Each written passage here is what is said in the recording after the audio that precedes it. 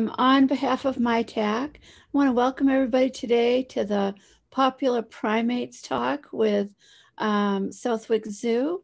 We have Dr. Samantha Russak here. She's the Director of Education at Southwick Zoo, and she'll talk about the 18 um, species of primates that they do have, including some uh, mischievous monkeys and uh, lemurs and apes and all. Um, let us explore these uh, amazing animals today. And there'll be lots of um, fun video clips as well. So, um, and just one other uh, housekeeping footnote, we do have um, uh, closed uh, auto captioning available for this talk as well under live transcript on the Zoom. So um, without further ado, I'm going to have um, Samantha, take us through as we explore some of the amazing primates at the Southwick Zoo. Uh, Samantha? All right, thank you so much. Um, really excited to be back for another one of these talks. Um, the primates here are one of my favorite groups of animals. I probably shouldn't say that. I love all the animals here, but I am a little biased towards our primate friends. Um, so I'm really happy to be sharing info about them today. Um, Today's presentation has a lot of information, so we're going to try and keep questions until the end. Um, but we have someone monitoring the chat box, and then uh, we'll have time for some questions at the end for sure. Um, so keep those in mind as I'm talking. If something sparks your interest, we can definitely go back and revisit that. Um, and with that, I'm going to start sharing, and hopefully this works. All right. Um, so as uh, Diane mentioned um, we have 18 species of primates here at Southwick Zoo, which is the largest primate collection in New England. Um, and across those 18 different species, we have 89 individuals at the moment. So um, some of these species we have in larger groups, um, some of them are smaller groups or maybe just pairs. And that really depends on the characteristics of the species, whether they're supposed to be social or not um, and, and just kind of the social um, groupings that we have available uh, in our facility and across other facilities um, for the best interest of the animals. So um, before we get talking about the different kinds of primates that we have, it's probably useful or helpful to know what is a primate. Um, so primates are an order um, in the animal kingdom. And what makes a primate a primate or part of this group um, are a couple different features. The main ones are that they have forward facing eyes, so eyes on the front of their faces versus the sides, with binocular vision. Um, so that means they can get depth perception, which is really crucial and important um, as many of these primates are living in the trees. Um, and it's really uh, important to have that depth perception when you're moving from branch to branch. Um, also, to help with that tree lifestyle, um, they have grasping hands. Now, opposable thumbs means that they can touch the fingertips of each of their fingers to their thumb and really use those digits to grasp. Most, but not all, there are a few exceptions of primates that have um, lost that opposable thumb over time um, because it's just not advantageous. And we'll actually talk about that uh, when we get to those primate groups. Um, but generally, they all have grasping hands with opposable thumbs. Primates are also known for being really intelligent, so they have large brains compared to their body size. Um, and that's something that definitely factors in into how we care for them here at Southwicks. Um, another feature that's uh, common across primates is that on those grasping hands, they have fingernails instead of claws. So we think of most other animals have really sharp claws, um, whereas primates have flat nails. And again, that relates to how they're moving about and spending a lot of time in the trees. Um, and something that's not unique to primates, but it's common among the group, is that they have um, a small number of young. So some species have two or three young at a time. A lot of other species only have one, um, but they're not having large litters like some other animals we think of, like rabbits or cats or dogs. Um, so very small young that require a lot of care from mom um, to be able to grow up. Um, and in terms of where primates live, uh, we can see them generally all across the globe, except you'll notice some gaps for North America, Europe, and Australia. Um, so Australia is kind of unique being, you know, an island. They have their own unique animals and primates never made, made it out there. Um, there were primates at one time in North America um, when the continents were a little bit closer together. Um, and then as the continents were shifting and the climate was changing, um, they died out in those areas and stuck to, you can see really along the equator where it's nice and warm. Um, so most of the primates that are alive today live in rainforest, hot, humid areas. There are a few that have branched out into non-forested areas, but they're um, usually the exception to that rule. So along the equator um, is where we'll find most of our primates today. All right, um, in terms of the kinds of primates that are out there, um, uh, you'll see I share a, a lot of these um, graphics that I share are from a company called Peppermint Narwhal. I love them. Um, you can find them on Facebook. They have their own website. Um, they do a lot of great graphics that are informational um, without being too overwhelming and that are just really fun. So I use their work quite a bit. Um, and this is one that they did for, um, there's a primate day, because of course there's a holiday for all animals. So this is their primate family tree. Um, so you can see there's a couple main groups, and we'll talk about all of these today. Um, so there are the strepsirrhines down here.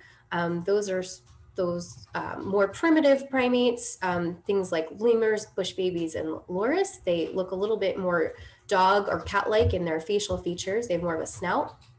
And then the haplorhines um, are going to be where we get all of the monkey species and ape species. Um, and so I obviously don't expect you to know all these names and groups, um, but this is just kind of an overview to think about how they're related, and we'll touch upon this throughout as well. All right, so um, the first big group that we're gonna look at are those strepsirrhines. Um, so those are those lemurs and lorises. And as you can see just from the pictures up top there, like I said, they tend to have um, more of a dog or cat-like snout to them, um, not the flat faces that we might associate with monkeys and apes. Um, most are arboreal. They tend to have a little bit of a smaller brain size. Um, and the thing that really distinguishes them from the other primates is that they have um, what we call wet noses. That's where strepsirrhine comes from. Um, so again, similar to your cat or your dog. Um, and they also have a really cool feature called a tooth comb, which is what it sounds like. Their bottom incisors are uh, elongated and pushed together in a comb-like structure um, that we believe is used mostly for grooming purposes. Um, and so that's, there are of course other features that make them different from that other group, um, but those are the two main ones we look for. So um, we're going to focus on just the lemurs today because we don't have any lorises or bush babies at Southwick Zoo. Um, there are, as the graphic shows, over 100 living lemur species today, um, but they're all found on the island of Madagascar, which is off the coast of Africa. So um, they are uh, very isolated to that one area. And unfortunately, because of that, they're all either endangered or critically endangered um, because they are only found in that one area. Um, but because there are no other primate species on Madagascar, we have all different kinds of lemurs that fill different um, ecological roles in that environment. So there are some that live in the wetter areas, the drier areas, um, some that spend more time on the ground, some that spend more time in the taller trees. Uh, there are bamboo lemurs, there are tiny mouse lemurs, so all different sizes and kinds. Um, they're a really fascinating group, but all live on Madagascar. So um, here at Southwick Zoo, the biggest group of lemurs we have are our ringtail lemurs. Um, and so this is what they look like. They're known for that nice striped tail that they have. Um, they also feature heavily in the movie Madagascar, for any of you familiar with that movie or have young kids. Um, you can see that they're um, not very large um, and they are a pretty terrestrial species. So they're gonna spend most of their time on the ground. They are only about five pounds, so on the smaller side. Um, they are omnivores, so they eat a variety of plants, fruits, and um, occasional meat in the form of lizards, snakes, um, little critters that they might find, insects as well. Um, what's unique about these lemurs is that they live in really big female dominated groups. So um, the, the matrilines and the females of the um, the group are the dominant individuals. Normally across other, or I shouldn't say normally, but usually across other primates, it's the males that are dominating the groups in terms of social hierarchy. Um, something that ringtail lemurs are known for are stink fights. Um, so they have uh, scent glands on their wrists that they will rub along their tails um, and then they kind of wave or throw their tails towards each other in what is called the stink fight. Um, now, I really haven't been able to smell what that stink is. So it's something that's very perceptible to them and to each other, um, but not really something that humans can pick up on. Um, thankfully for us that have to work with them in close quarters, they're not as smelly as the name might imply. Um, as I mentioned, all lemur species are either endangered or critically endangered. So these guys are endangered, so they're doing a little bit better than some of the other species, um, but are still at risk of extinction mainly because of habitat loss in the area. Um, here at Southwick's, um, this is the blue text there, we have a large group of nine that are out on exhibit. Um, right now, that's made up of five males and four females. Um, we usually have a few babies each year. Um, we don't have any at the moment this year. It's possible we might have some later in the spring. Um, it's possible that they might just take a year off from breeding. We kind of let nature take its course for that group. Um, and so it's a natural breeding group um, and see what babies we get each season. Um, we also have an older pair that are uh, retired, so to speak. So they are kept off exhibit. We keep them comfortable and happy and healthy, um, but they're a little bit older in age and are past breeding age. So we have separated them from the main group um, and keep them off exhibit so they're a little less stressed um, than the group that's out dealing with the public all of the time. Um, so here um, is just a quick video of uh, our lemurs eating. There's no sound to this video, um, but as you can see, even though they do spend a lot of time on the ground, um, they are very adept climbers. Um, and we have lots of structures in their enclosure to allow them to climb and jump around. Um, they're just eating some romaine lettuce in this clip. So they get a variety of fruits and vegetables here at the zoo.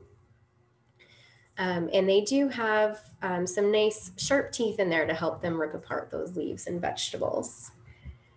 So the next um, two species that we'll talk about of lemurs are both um, in the same genus. So they're called ruffed lemurs. They have a little bit of a fluffier look to them. Uh, we have red ruffed and black and white ruffed lemurs. Um, so our red ruff we'll start with first. They're a little bit bigger than the ringtails, um, seven to eight pounds. Uh, they will occasionally eat insects, but to a much lesser extent than our ringtail friends. So they're considered frugivores, mainly eating fruit. Um, and these lemurs are interesting in that they usually have two to three young at a time, and they actually nest them. Um, so for most primates, they're going to be carrying their young with them um, around at all times. But these guys create a nest and leave those, park those infants behind while they go out foraging and come back to check on them. Um, so they're a little different from the rest of the order in that sense. Um, unfortunately, these red ruff lemurs are critically endangered, so fewer numbers of them. Um, here at the zoo, we have a family group of four. Uh, we have Rex, uh, who's the father, Ruby, the mother, and then um, twins that are now four years old, um, Tyrion and Jamie, named after Game of Thrones for any of you Game of Thrones fans out there. Um, their lifespan is about 15 to 20 years. Um, so we will have that family group probably for a while. Um, as the, the kids get a little bit older, we might work with another facility to move them out um, so that they can start their own breeding group um, and have the parents decide if they want to have um, more offspring or just keep them as a bonded pair after that. Um, our black and white lemurs, ruff lemurs, right now we also have a mated pair, Louie and Lucy. Uh, we haven't had any kids from them yet. Um, they're both about five years old, so they're a little bit young. They're just starting to reach sexual maturity now, so we'll see if they decide to have any offspring um, in the future. Um, but they're pretty much the same as our red ruff lemurs, just a different color that we're working with here.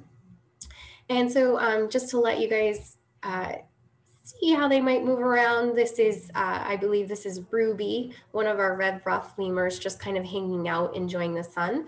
But you can get a really good look at that foot there with the opposable toe, in addition to their hands that have the opposable thumbs. Um, so they can grasp with their hands and their feet. Um, and then this is just a quick video clip.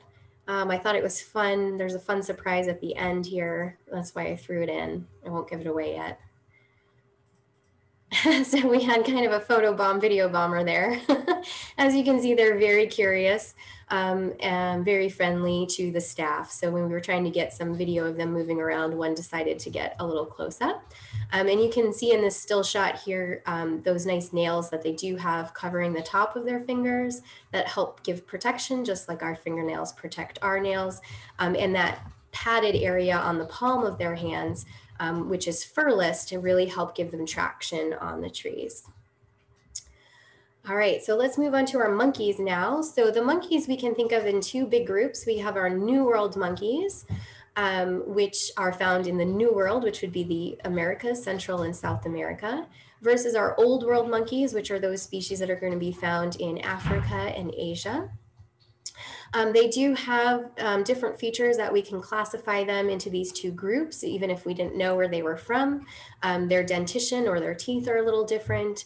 Um, the their faces look a little different, um, and uh, the sizing is a little different. Something that's really cool about the New World primates is that some of those species have prehensile tails, which means they can use that tail to grab onto things just like a fifth limb.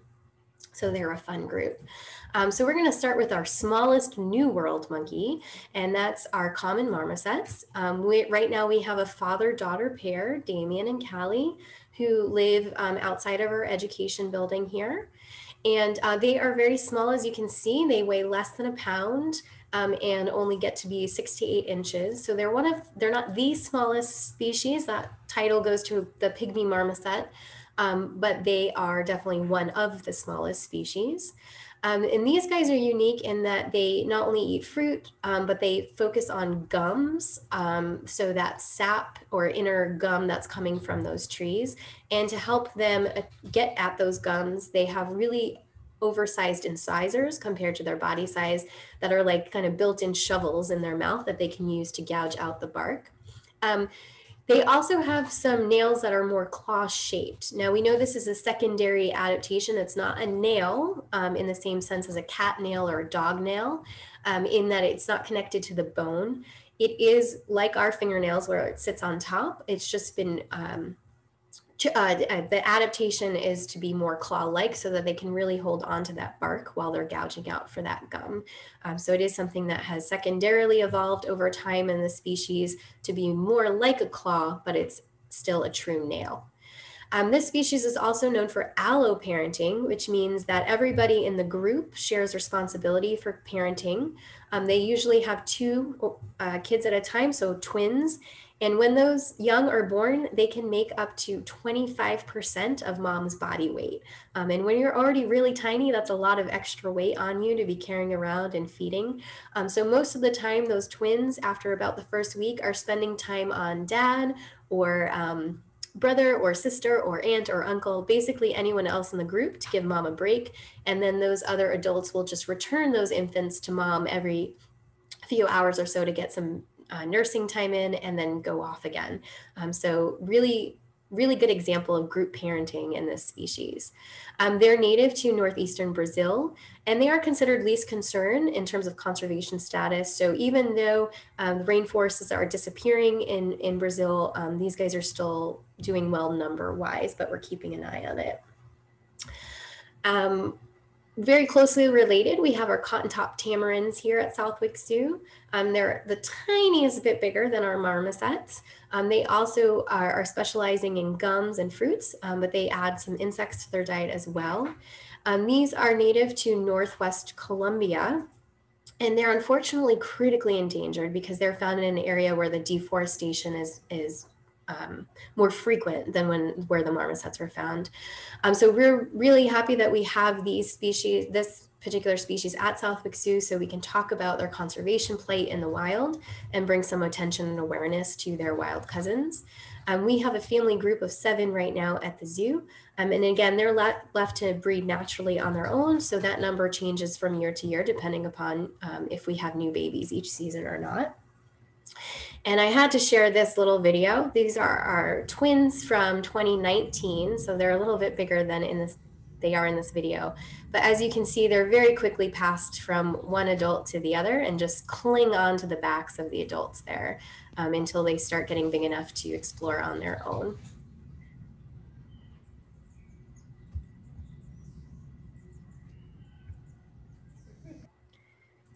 All right, uh, moving on to some of our slightly larger New World monkeys. Um, we have tufted capuchins that are also known as black-capped capuchins or brown capuchins. They have a couple different names, um, but they are characterized that by that patch of black hair on the top of their heads.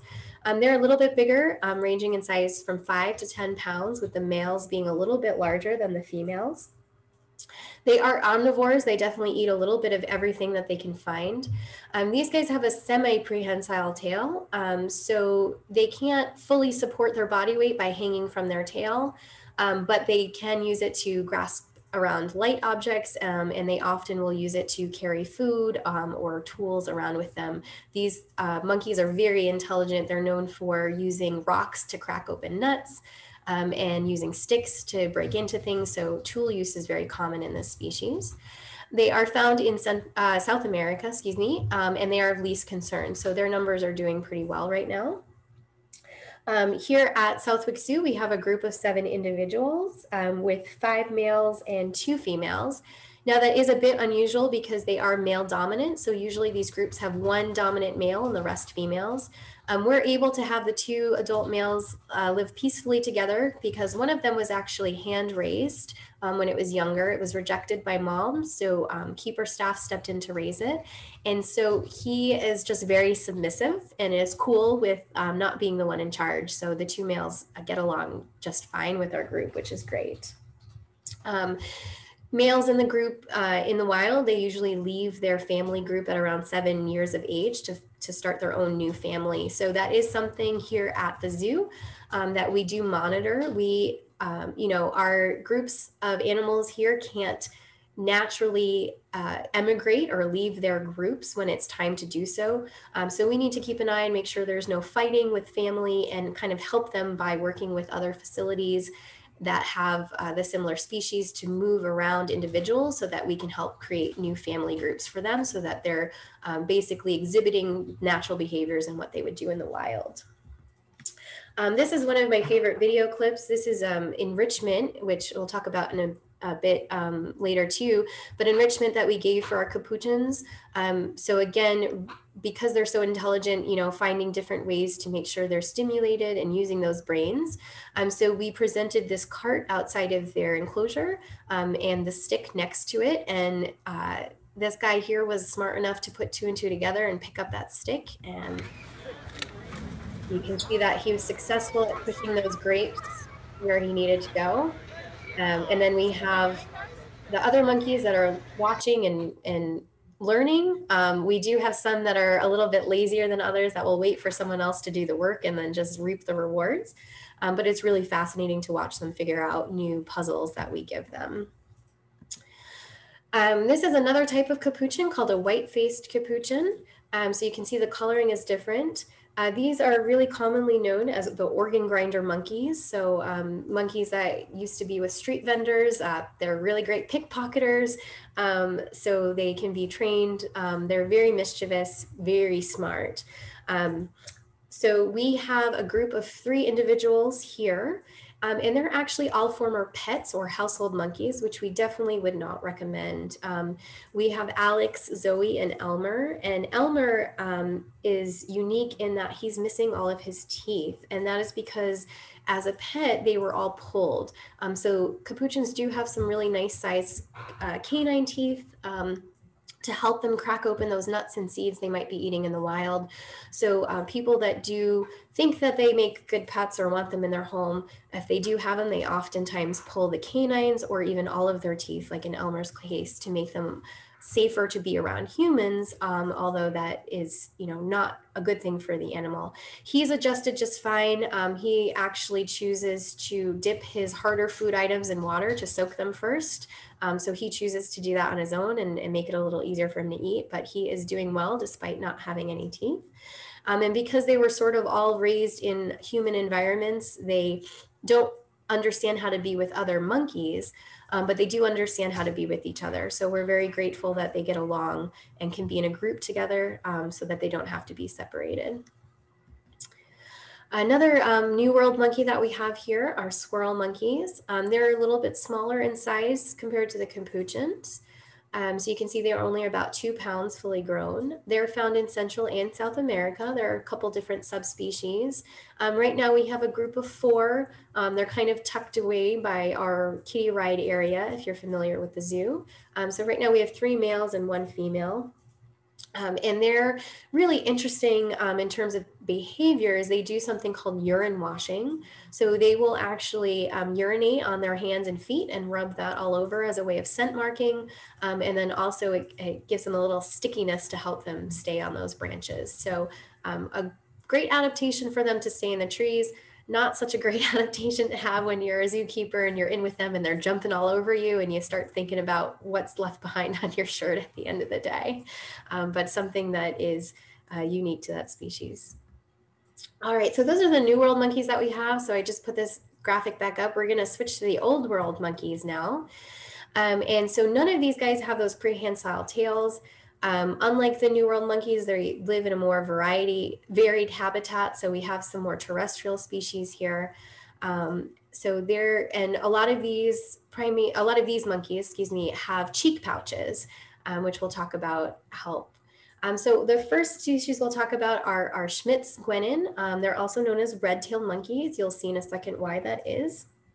Um, they're kind of medium size, so seven to 13 pounds. They love their fruit.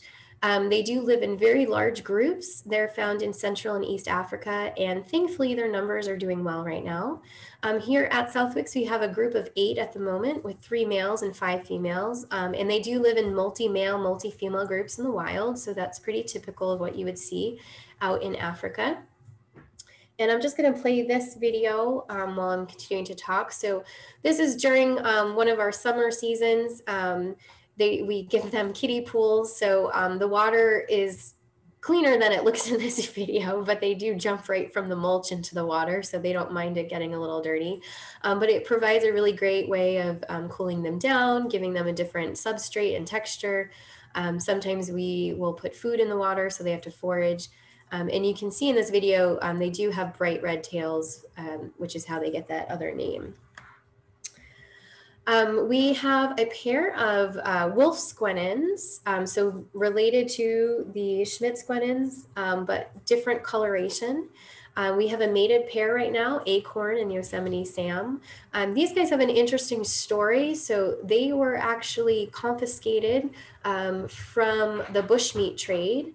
So uh, poachers illegally hunted and captured a group of guenons um, and that they were trying to sell for the bushmeat uh, market and uh, officials, government officials got caught or got wind of it and were able to rescue them um, and then import them into the United States. So we got a pair of them um, and the rest of the group were went to other facilities um, so that they could have new homes and not have to worry about being part of the bushmeat trade. Um, usually there's one dominant male in the group. Um, we just have a mated pair right now, but we're hoping that we they might produce some offspring and start their own family group here. Um, another type of uh, guenon or old world monkey is our De Brazza monkey. Um, these guys are known for that white coloration around their muzzle there. Um, it looks like they have beards. And they're a little, or, or sorry, also on the medium size. What's cool about this species is that they're sexually dimorphic. So the males are bigger and um, have brighter coloration on their face than the females. So it's easy to tell apart the, the genders there. Um, they are native to West Africa. Um, and right now we have a family group of five. So mom is Fiona, Guinness is the dad, um, and they always have a couple of kids running around. Um, Fiona has a new infant with her um, about every year to two years, which is uh, perfectly natural um, what in what you would see out in the wild. Um, and then those kids would stay with the group um, until they're about five to six years old. Um, and so again, that is when we would work with other facilities across the country um, to place them so that they can start their own family groups. Um, and this is just a really cute little video clip of two of the youngsters play wrestling. So this is definitely how they learn how to use their muscles and move around um, and be active monkeys. Um, it's always fun to watch. So just like human children, they're constantly fighting with each other. That's what you get with these guys as well. Um, and so you can see they have long tails that help them in the trees, um, but they are not going to be able to grab onto anything with those tails because they're not prehensile. Um, another species that we have here are the grivet monkeys. They're also known as vervet monkeys, green monkeys. They have a lot of names they go by. Um, there's a big range in size. So females are definitely smaller than the males um, and can be as small as three pounds. Males can get up to 14 pounds. They also like to live in large groups. Um, they're native to East Africa. They spend more time in the more dry woodland areas compared to the rainforest. Um, here at Southwicks, we have a group of nine individuals right now with six males and three females. Um, our youngest member of the group was born in December of 2019, so um, starting to get a few years old, and they're very similar in terms of the De Brazza monkey. Of um, it, they usually stay with the group until they're about five or six years old. All right, um, and this is the video. There is some noise here. Um, we gave the monkeys in this case some bamboo And so you can see this individual is using teeth to rip that bamboo apart and get to the inner layers.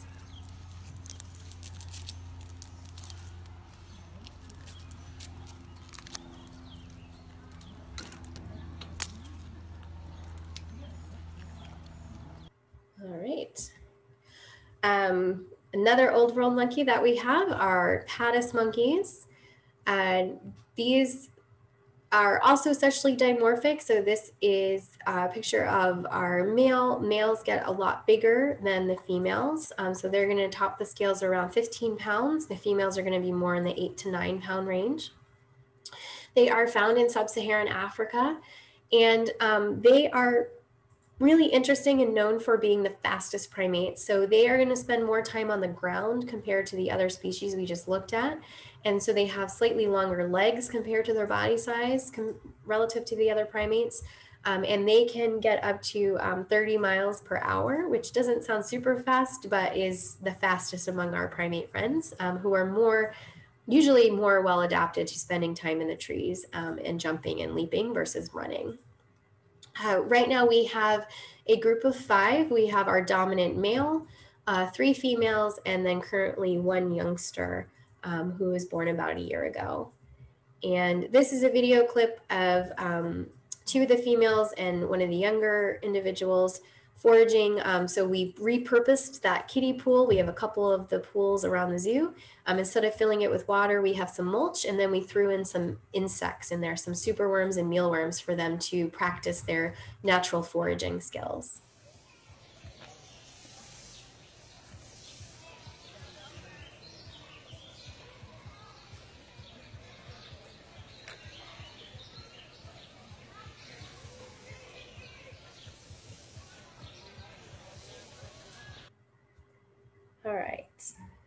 Uh, moving right along, uh, next are our crested mangabeys, um, black crested mangabeys.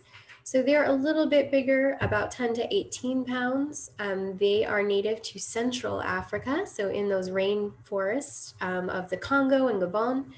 Um, they're considered near threatened, so they're not quite endangered, but unfortunately their numbers are declining, um, again, mostly due to deforestation and also poaching. Um, here at Southwicks, we have a mated pair called Wakko and Dot.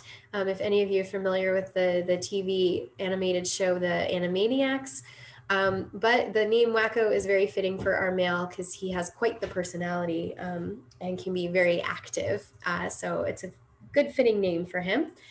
Um, and this is a very quick clip, just a few seconds, um, but this was a piece of enrichment, just a repurposed child children's slide that we put in, um, and he spent quite a bit of time uh, just going down it. So um, I'll let you guys enjoy this clip. so a very quick clip, but he basically would run back up to the top and do that again for uh, most of the day when we first put it in there, and then revisit it throughout the week as well. Um, getting a little bit bigger in size, we have our mandrills. Um, now they are sexually dimorphic as well. The males are a lot more vibrant in color on their face and about twice the size of the females. Um, so easy to tell apart. and they are unfortunately um, considered vulnerable in terms of conservation status because they do spend more of their time in those very heavily um, treed rainforest areas. So they like it when it's hot and humid. Um, and those are the areas that are being torn down for habitat um, loss and to make clearings for agricultural land. So they are considered vulnerable. Um, here at the zoo, we have a family group of four. Montu is our big dominant male. Skeeter and Maggie are our adult females. Um, and then we have one young um, individual that was born last March, um, yet to be named because we are not quite sure male or female yet. Um, they're a little bit hard to tell when they're young. Um, these are pictures of various um, of various individuals. So the top left is our male Montu. So you can see that very bright coloration on his face. Um, he seems a little bit bigger in size than the female sitting behind him. The top right is of one of our adult females, that's Skeeter. Um, so she is fully grown and that is as colorful and as big as her face is going to be for a female. And then the bottom picture is of um, two of the younger individuals. Um, so our other female, and then that's not the current youngest one, um, but a young one we've had in the past. So you can see that that coloration in their face develops over time. So when they're first born and when they're young, um, it's a little bit more difficult to tell the sex of the individual. And as they get older, especially if they're male, that coloration gets brighter and deeper as they get older. All right, so that those are all the old world monkey species that we have here. Um, so moving on to our last group, which are the apes. Um, so as you can see, that includes um, gibbons and siamangs, orangutans, which we unfortunately don't have here at the zoo, um, gorillas, which we also do not have here at the zoo, uh, chimpanzees, which we do, and also includes ourselves. Um, so a lot of the times you might hear the term um, non-human primate, and that is because humans are considered part of the primate order. Um, so when we say non-human primate, we're talking about all of the other friends that we are, we're just seeing and talking about, um, excluding ourselves. Um, the main difference between apes and monkeys is that they the apes lack a tail. So all of the monkeys we saw, even those mandrills that had a short nub of a tail, um, do have a tail, whereas apes do not. Um, there are some other features. Apes generally have longer arms compared to their legs. Uh, we are the exception to that rule um, and spend a lot of time in the trees, although there are some exceptions. So the first ape species that we have here at Southwick Zoo are white-handed or lar gibbons. Um, they're smaller in size. They're sometimes called lesser apes compared to the other bigger ape species like chimps and gorillas. They are frugivores, mainly eating fruit. Um, white-handed gibbons are native to Thailand and Indonesia. Um, and they're unique among, well, not unique, but um, their social organization is interesting because gibbons are usually found in monogamous family groups, which is not very common across primate species. Um, so usually primates are found in multi-male, multi-female groups or in male-dominated groups where there's only one male and a lot of females, um, or in those female-dominated groups like we talked about with the lemurs.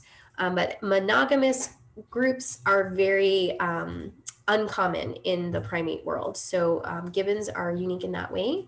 Unfortunately, they are endangered. So being native to Indonesia, many of you might be familiar with the palm oil uh, plantations that are out there. And to make way for those plantations, a lot of the forests are cleared. So uh, gibbons and their sympatric orangutans that also live in those same areas are very highly endangered because of that practice. So the best thing that we can do to help wild gibbon populations is look for palm oil free items um, or uh, sustainable um, palm oil items. Um, and those can be found by looking at the ingredient list and there's some uh, logos that you can look for too on your products. And palm oil is found in food, it's found in shampoos and soaps. Um, it's in a lot of products that you wouldn't necessarily think about. So if you take the time to look at the ingredient list and where those items are coming from, that can go a long way in helping conserve these animals in their wild habitats. Um, here at the zoo, we have two um, enclosures of gibbons. We have a family group. Um, Goldie is the mom, Jeffrey's the dad, and right now they have two um, kids with them. Um, they have, now unlike the monkeys that might have another baby um, every year or every two years, apes space their kids out a little bit more um, because it takes a little bit longer for them to become independent and to develop. So a slower developmental time. So our gibbons are going to have a new infant every three to four years. Um, the the youngest one that we have in that family group right now was just born last April, so just turned a year old. Um, so they're very cute. Uh, and we also have another bonded pair. Um, I'm not going to say mated pair because uh, we don't expect any offspring from them, but they are a bonded pair, uh, Ralphie and Gabby. And the reason why they get so long, along, they get along so well together, um, excuse me, is because they were both hand raised. Um, now, that's something we try not to do with our primates because they might develop some non natural behaviors, um, some human behaviors. But uh, the circumstances for both Ralphie and Gabby um, were that they weren't being taken care of properly by their moms. And so um, instead of letting them suffer, keepers stepped in to help take care of them and raise them. Um, thankfully, they get along well with each other um, and display all of the typical gibbon behaviors that we would expect them to display. So they're doing very well here at Southwick Zoo. Um, Gabby is kind of our older gal. She is about 27 years old. Um, an average lifespan for gibbons is about 30 years. So she's getting up there in age, but is still doing very well. And we're happy um, to have her here at Southwicks. Now, gibbons are known for having their really long arms. Um, and so when they move through the trees, um, they're not going to move through on all fours like a lot of the monkey species. They're going to do something called brachiation, which is this arm over arm movement. Um, so this is just a little clip of um, these guys moving around. Um, I also mentioned you can see their hands um, are, their fingers are much more elongated compared to some of the other uh, monkey species here um, to really give them that hook-like hand to help hang on to the top of the branches when they're moving around arm to arm. Um, now, um, oops, sorry. Um, so of closely related uh, species are siamang. They're part of the overall gibbon family, um, but these guys are darker in coloration and um, they're limited in where they're found to Malaysia. They're also a little bit different from their from the gibbons in that they're more folivorous, meaning that they eat more leaves in their diet compared to fruit. Um, they're also known for their calls or their duets. So they have uh, territorial calls um, that they are unique to each individual pair and family group um, so that they can tell the groups apart. And these calls can be heard up to two miles away. So very loud. Um, and what enables them to have such loud calls is they actually have a throat sac that they can inflate with air that helps carry that sound.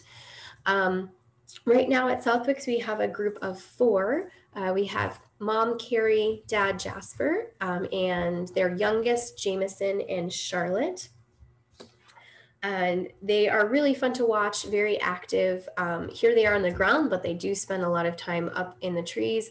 Um, we give them lots of structures to climb on and rope to swing from. And I'm going to share this video. It's a little bit um, longer than the previous clips, but it shows them moving around. But more importantly, um, if your speakers are up, you might want to turn them down just a little bit um, because this does have their call, which is fairly loud, but it's a very impressive sound. So I'm going to play it now. Um, beware if you have any pets nearby, a dog or cat might take offense to the sound.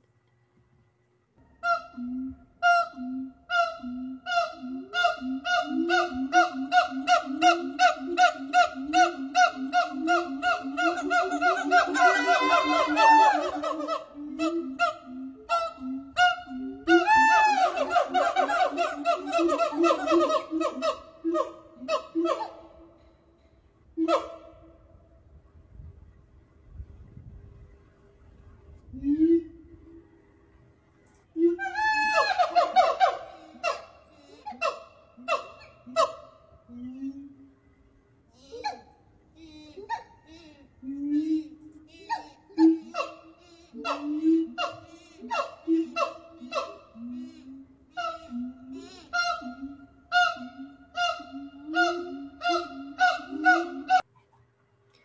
Right, so um, hopefully that wasn't too alarming of a noise.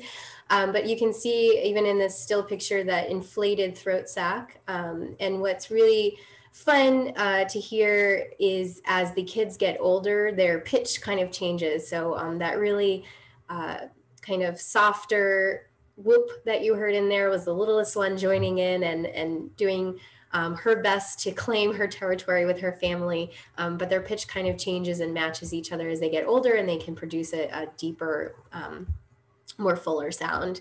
Um, but they are, that's one of my favorite sounds here at the zoo. Usually they will call first thing in the morning um, and towards the end of the day as well, just to alert everybody that they are claiming their enclosure and their home um, and that they're there. So very fun. And then last but not least, um, our largest ape that we have here are our chimpanzees. Uh, males are a little bit larger than the female, so there is some range in that size there. They are omnivores. They eat a little bit of everything and they are very opportunistic feeders out in the wild. Um, if they can catch a small mammal um, or a lizard or a snake, they'll eat that as well. Um, some of the chimpanzee troops actively hunt other animals in the wild, um, but most of their diet is going to be made up of fruits and leaves. They are found all across sub-Saharan Africa, um, so sort of along that middle belt there um, in Central, East, and West Africa in the sub-Saharan uh, range. Um, chimpanzees usually live in big groups um, that are called fission fusion groups. So a community might have over 150 individuals, but they split up into smaller groups of about 20 to 30 individuals during the day to go off foraging and patrolling. And then they might come back together in one big group at the end of the night. Um, they do nest each night. Um, and have home ranges that they are territorial about. So um, you can definitely track their movements of different populations and groups. They are endangered in the wild, again, mostly due to habitat loss, but they are victims of poaching and the bushmeat crisis as well, unfortunately. Um, here at Southwick Zoo, we have a group of four. Um, we have Terry and Tabitha and their daughter, Tansy. Um, Tansy's about 12 years old, so she's about uh, teenage years in chimp. Um, and then we have an older adult female Jingles, um, who is the one on the left in that picture there. Um, and she's quite extraordinary she's going to be 52 this year. And on average, chimpanzees live about 40 to 45 years. So um, she is beyond that average age. She's still doing very well. She started to lose a little bit of her hearing and her sight in her old age, just like what sometimes happens with us. Um, but thankfully, we, you know, have a great animal care team that can take care of her. We have a great vet on staff that's monitoring her. Um, so all of her needs are being met and taken care of, even in her old age. Um, now this video is some is one of my favorite videos. Um, we gave them a large mirror and that's our female Tabitha checking herself out there in the mirror. Um, so chimps are one of the few animal species that do have self-awareness and self-recognition. Um, so most other animal species, if you put a mirror in front of them, they're going to act like they're seeing a different animal. They don't recognize it's themselves. Um, this is Tansy, our, our teenager. So you can see that she throws some fits sometimes. Um, and this is back to, to Tabitha, our female. Now she's checking out her teeth and her mouth. So very curious, very intelligent um, animals that we have.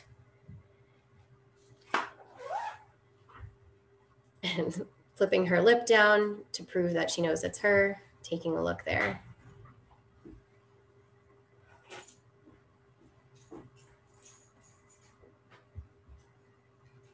Um, and you can see Tansy swinging above her. Um, so something that I wanted to mention that you might have noticed throughout the videos that I was showing um, is something that we call enrichment. And so that is something that we offer all of our animals here at Southwick Zoo. Um, the definition there, the official definition is a process for enhancing an animal environment within the context of that animal's sociobiology and natural history, and it promotes species typical behavior. Um, so basically what that means is we give them things to stimulate their natural behaviors. So whether that's foraging, whether that's locomotion, the way they move around their enclosure, um, whether that's social interaction with uh, other individuals of their species or interaction with keepers, a training session. Um, we make sure to um, stimulate all of their senses and natural behavior so that they're not um, seemingly bored or um, promoting any non-natural behavior. So um, the structures that they climb on, uh, the food that we give them, puzzles, toys, anything like that, all go towards uh, keeping their welfare as, as high up there as we can get it to be. Um, and along those notes, the last thing I'll leave you guys with is um, just this video clip that we shot a few years ago now, but of some of our primate keepers telling you uh, what it's like for them to take care of the animals here at the zoo and what they like about it. Um, so I think they say it the best in their own words, so I will uh, let them do that in this video. Hi, my name is Brittany Brasso and I am a primate keeper here at Southwick Zoo. My name is Jess Lanchansky. I am a primate zookeeper four days a week and a hoofstock zookeeper one day a week. So as a primate keeper at the zoo, we usually start our day with produce. So we get all the produce ready, we cut up their diets, and it's for all the uh, species of monkeys that we have and as well as the other animals we take care of. We have lots of tools and things that we need, buckets, rakes and shovels, hay for the animals, we load up the trucks. With the primates, we actually split up into two groups. One does one side and one does the other. So it depends on what side you're on, what animals you're cleaning, but basically we clean and feed. Our first pen that we do every single day is the kangaroo pen. On hoofstock, it's basically loading the truck with the tools, going up to, we usually start at the giraffes and just start cleaning the pens. The thing I most look forward to, I think, is just seeing the animals and interacting with them, seeing how they are every day and I usually just look forward to going to see how the animals are behaving on that day. I like to see, even still after being here 15 years, I like to see all the monkeys, you know, they see the truck and they just get so excited. They know the food's coming. They're always so happy. Different cues we can take from the animals. Sometimes you know if uh, an animal doesn't want to cooperate, if they're you know, giving you bad looks or if they're screaming at you. Or the chimpanzees, for instance, the little one, Tansy, does throw things at us or gets upset inside. And so usually what happens with that is we ignore them and walk away because you don't want to enforce that behavior. We keep certain records and logs throughout the day. We have a normal hay sheet to make sure everybody's kept clean throughout the day. We have a zookeeping log, which we keep everything in, so if there's births or unfortunate deaths or injuries or medicine that anybody takes, we do log all that on um, and it gets sent into a system. The best day in my memory that I've had is probably just being hired here. it was pretty amazing thing to know that this is an actual real job and I was being allowed to do it, so that was very exciting. My best day I think would be when Tansy was born, the baby chimp. It was really cool to see Tabitha carrying her that day and raising her and just watching like a little baby chimp turn into what she is now. People always ask, especially around here, like, do you love your job? And I always say, absolutely. I said, it's totally worth it. You know, it's a, it's a lot of work and a lot goes into it, but it's absolutely worth it to have the basic interaction with the different animals and just to see the way they're all totally unique personalities. It's really cool to see that.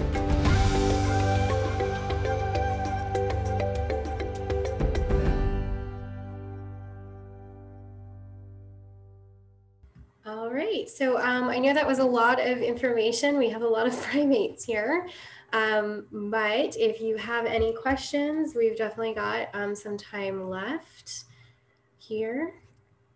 All right. Uh, we have one question from Vipul. Um, are there any habitat restoration efforts for these species? Good question. Um, so there are some habitat restoration efforts in um, some areas of Central and South America, um, some areas of Central Africa as well, um, but they are not the easiest projects to um, one get funding for or two to initiate and get going. Um, if we think about the reasons why the forests were cut down in the first place, it's usually to make room for agricultural lands or just human um, development, so housing. And so uh, you would have to basically kick those people out of their new homes um, and start replanting trees. So there have been some efforts to reforest and replant trees in areas that we can, but unfortunately the space is um, disappearing as well. So it's not always possible to um, get those areas back up and running. And then even if we do reforest an area, uh, making sure that we're not just creating another forest fragment that isolates groups of animals is the difficulty as well. So one project or um, group of projects that does seem to be helping with these forest fragments are creating wildlife bridges um, whether that's creating a tree line that to connect forest fragments or an actual bridge um, that's lined with grass and trees, uh, basically to create a corridor for these wildlife to migrate or to move between patches without having to cross a road or an electrical line um, makes it a little bit safer and easier for them to migrate. But um, there's still a lot of areas, unfortunately, where populations are becoming isolated or just losing their homes completely. That's a good question. Yeah, thanks. Um, a second question. Uh, this this one referencing uh, an incident that happened a while back at a different zoo. Could a Harambe type of situation occur at Southwicks? I don't know how you want to handle that one. yeah. Um, so of course, so when we're designing enclosures to begin with, um, we have a lot of factors to keep in mind. So, um, of course, the safety of the animals is always at the top of our minds, um, but the safety of people also needs to be up there as well. Um, however, that also, all of those two things need to be balanced with um, viewability, right? So people come to the zoo to see the animals. So if we're putting in enclosures that are completely walled in, you can't see the animal, um, you know, our visitors get upset because they can't see. But if we have a completely open enclosure, then, you know, that presents the risks of people getting in or animals getting out. So there is definitely a lot that goes into even just the design before we even have the animals in there. Um, now, once the animal's in there, you know, we have to monitor. So our chimpanzee enclosure, we have a number of barriers. So um, I'm not going to ever say never say never, right? Um, but I think it's very unlikely that we would ever have a Harambe type of situation here, um, simply because you would have to cross a wooden fence, um, a garden area, then you would have to go down into a dry moat, climb back up the other side, cross a hot wire, and then you would be with it with the chimpanzees. Um, so it would take you quite a bit to get to where the animals actually were.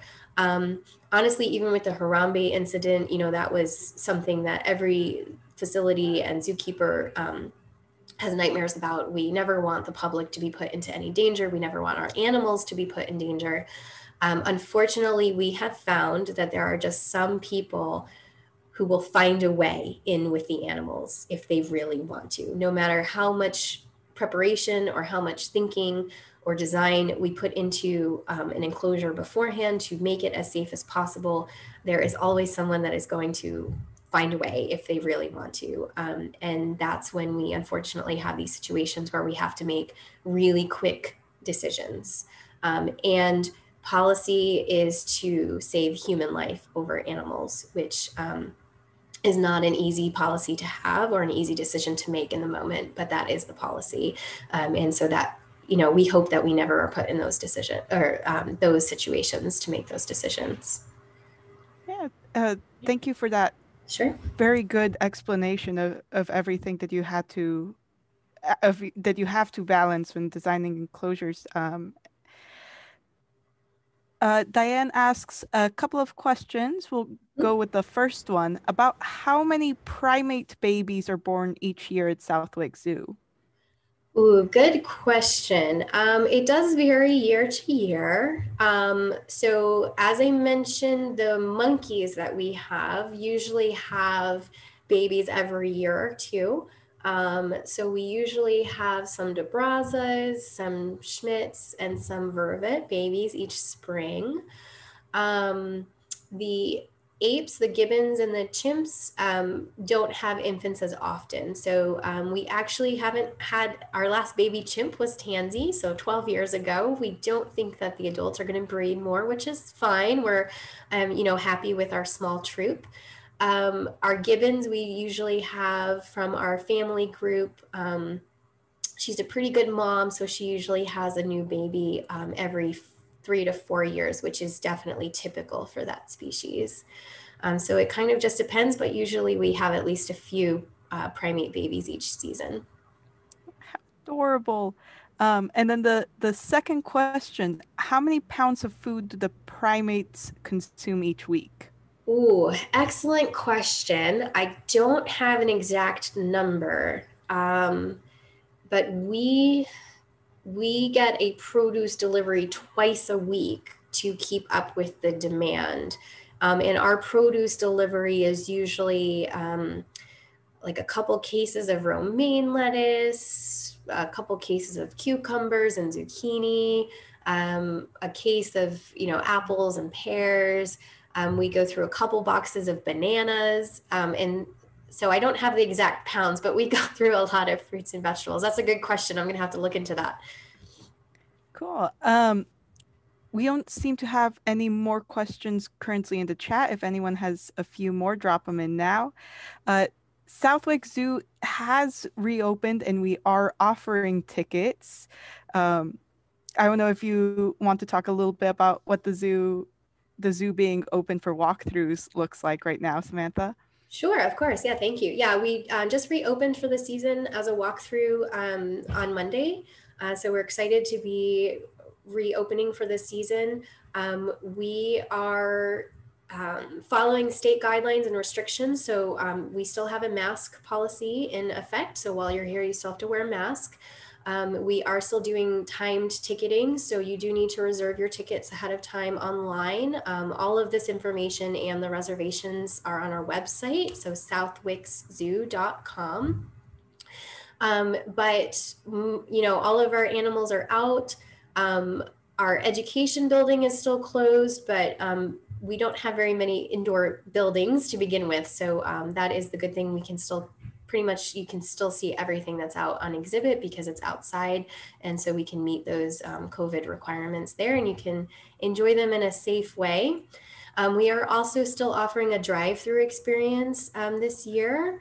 Uh, we're still working on the details. It was monday and wednesday evenings. I think we're going to be switching to mondays and tuesdays um, but of course, that information will be posted on our website as well. So that offers guests another way to see the zoo um, from the comfort of their car in a safe environment, um, which is a, a, a, new thing we were able to offer last year um, with the COVID restrictions.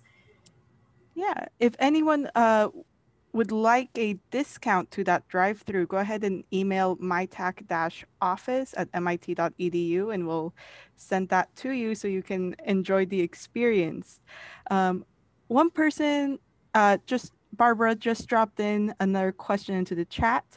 Uh, does the bright coloration, blues and other colors, on some of the species have adaptive significance evolutionarily? How, how did those develop? Any theories? Yeah, good question. Um, our best guess, and by our I mean researchers and scientists, um, so um, the best guess that they have is that it's uh, really just for sexual dimorphism mating preferences. So um, it doesn't have any adaptive value for the individual itself other than um, finding a mate. So it's um, especially like in the mandrill species, the males that are more brightly colored. Um, so it's believed that the brighter coloration is indicative of a healthier male. And so that's going to attract um, females and allow that male to mate and pass on its genes. Um, the coloration in the other guenons, um, a lot of the other monkeys that we saw, the De Brazzas and Schmidt's, um, they don't have much difference between the sexes, um, but between the species, there's a lot of different uh, hair and fur coloration patterns. Um, and the, that is believed um, was developed just to kind of um, tell the different populations apart. But um, otherwise, we can't, we, there hasn't been any good theories that I'm aware of um, to any other adaptive advantages. But that's a really good question. Cool, thanks. Um, it is past five, so if anyone needs to go, we are putting this up on YouTube. Samantha, do you have time for one more question? Um, yeah, I can fit one more in, sure. Great. What do you do to winterize for the primates? Good question. Um, so we actually move a lot of those smaller lemurs and monkeys inside. We have heated buildings on site. Um, so they get moved indoors for the winters to keep them nice and toasty. Our chimpanzees um, have a heated house that's attached to their enclosure um, that we also bring them in each night just for safety as well. So we don't have to move those guys anywhere. Um, the smaller individuals, we do just move into a heated area for the winter. But good question. We do have to, um, they, they adapt fairly well to the New England weather, but still not adapted for snow. So we do need to bring them inside. Cool. And a, a follow up to that question where do you put the animals when it rains? Good question. So um, it rains outside as well in their natural habitat. So um, it's not like they're, you know, can't be out in the rain. Um, when it rains or we know there's going to be bad weather, we do give them um, the option to be inside. So they usually have um, night houses attached to their enclosures. We also offer, you know, shelter um, areas in their enclosures as well. Um, so it's really up to them whether they want to be sitting out in the rain or they can be covered. Um, but it's not a problem for them to be out in the weather. That's something they would encounter out in the wild as well. Um, so it's something we let them deal with here as, as well as. Awesome. Uh, thank you so much. We don't seem to have any more questions from the chat. This was a fantastic talk, as always as it is whenever we get to have you. Thank you so much. My pleasure.